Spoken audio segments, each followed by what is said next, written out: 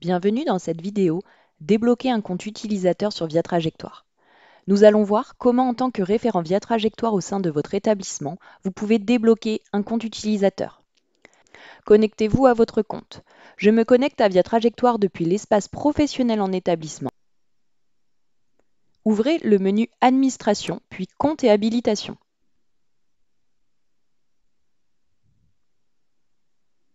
Je clique ensuite sur Rechercher un utilisateur. Je saisis le nom et le prénom du professionnel.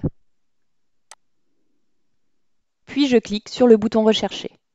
Les résultats correspondants s'affichent. À gauche de votre écran apparaît un cadenas orange. Cliquez dessus pour débloquer le compte. Une fenêtre apparaît. Vous devez confirmer votre souhait de débloquer ce compte en cliquant sur OK.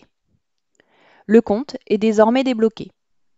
Si besoin, l'utilisateur peut régénérer un nouveau mot de passe en cliquant sur Mot de passe oublié sur la page de connexion de Via Trajectoire.